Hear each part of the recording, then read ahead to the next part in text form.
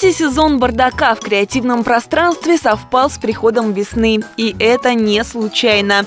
33 мастера из Ростова, Краснодара и Таганрога. Целая развлекательная шоу-программа, мастер-классы, подарки к 8 марта, выступления популярных артистов. Вся творческая элита засветилась на бардаке. Подготовились так хорошо, сделали такие чудные работы. И вообще они молодцы. Я очень благодарна, что третий сезон они со мной, они поддерживают. Мы все делаем общее дело. Это, это стала команда на самом деле. Я очень рада. Каждая импровизированная мастерская – шедевр дизайнерской мысли. Все украшено с любовью и весенней теплотой. Анастасия рукоделием занимается много лет, в бардаке участвует второй раз. Выставляется с мыловарением. Мыльце натуральное, на маслах, а также глицериновое. А еще в ее производстве эксклюзивные украшения. Я тоже не э, задерживаюсь на какой-то одной технике. Это и э, валяние, и полимерка, и сборка, и даже квиллинг.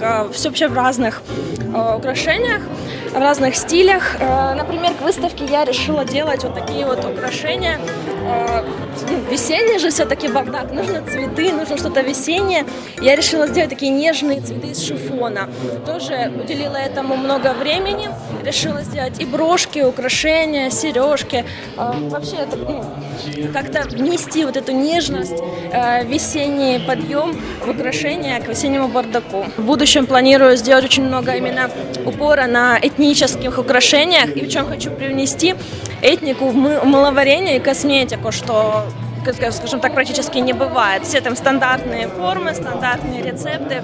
Я решила изобрести что-то свое, выразить как-то через игрушки, украшения, чтобы чего-то такого не было. Ну, я очень люблю Индию, и, скорее всего, это будет именно индийская этника.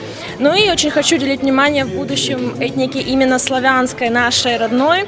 Поскольку считаю, что нужно сейчас больше внимания уделять своим корням. А вот и творческая мастерская. Игрушки ручной работы, а также боди для малышей. Милые вещицы расписываются прямо на месте, на глазах у гостей бардака. Боди я начала заниматься, потому что я стала мамой. Естественно, у меня малыш, я начала все для него, а потом решила, что чего ж красоте-то пропадать, если можно сделать как бы все и для других деток, и по доступной цене, в принципе. Чистенький бодик берем, подкладываем. Лучше, конечно, брать что-нибудь плотное, картон, чтобы мало ли чего не было, чтобы было удобно. Специальная краска по текстилю. Обязательно, потому что любая другая краска, она либо вымоется, либо она пойдет пятнами, чего очень нежелательно. К тому же проверено на детях, все хорошо. Все, берете, можно выбрать эскиз, можно самому придумать, и все в ваших руках рисуем. Вот мы решили сегодня как небольшой мастер-класс сделать вот такую вот совушку. У нас куча надписей, но решили вот животное такое сделать. То есть можно сотворить совершенно все.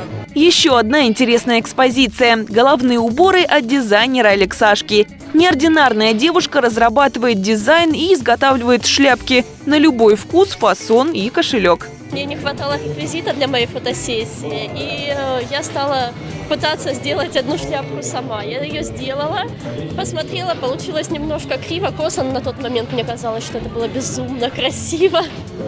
Вот, и меня эта тема зацепила, и я стала узнавать как-то больше про шляпки, про головные уборы, потому что это, ну, действительно было здорово для меня. И, как оказалось, на тот момент в интернете было очень мало представлено каких-либо мастер-классов и вообще информации о шляпках. И я меня это задело, зацепило. Я стала все больше и больше узнавать э, нового, пытаться найти. На книжных развалах я искала старые книги про шляпки. Там на свадьбу, на вечеринку, пойти в клуб пойти с друзьями повеселиться, девишник, корпоратив. Это сейчас вполне можно одеть. Ну, из каких материалов делаешь? Материалы перья, вуаль, шелк, ригелины. В принципе, все шляпные материалы.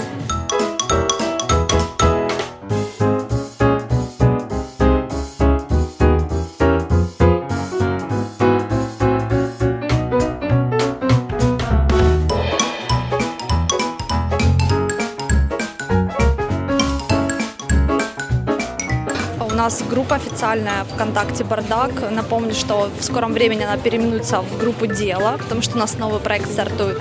Там можно нас найти, можно найти всех мастеров, можно записаться на любой мастер-класс, можно и купить, изготовить любое изделие под заказ. В общем, все что угодно, все, что захотите. Не успели на праздничный маркет, готовьтесь к следующему и мастерите. Быть может, именно вы в следующем году попадете под прицел наших телекамер.